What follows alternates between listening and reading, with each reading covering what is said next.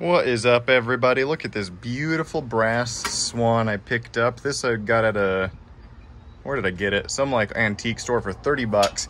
Now it weighs probably around 20 pounds, so the scrap value of this alone is at least $30. And what I'm gonna do is I'm actually gonna polish it and then resell it.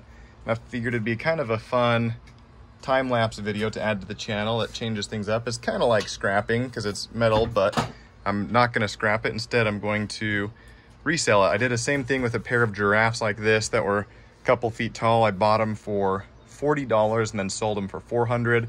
I'm going to see if I can get 150 out of this when I'm done.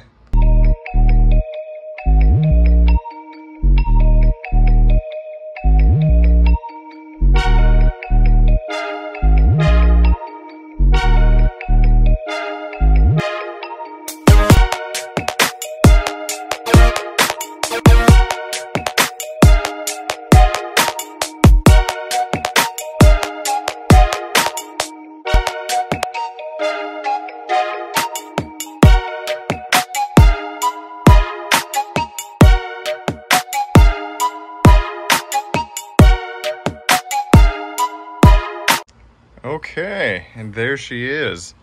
Not a perfect job. This is my first time ever trying to polish brass or working on polishing brass. But I gotta say, that looks significantly better than when I first bought it. You can see there's still a few little freckles here, but before she was just dotted in freckles. Now most of the freckles are gone. And this is looking real good. I think I can definitely sell that $150, $200.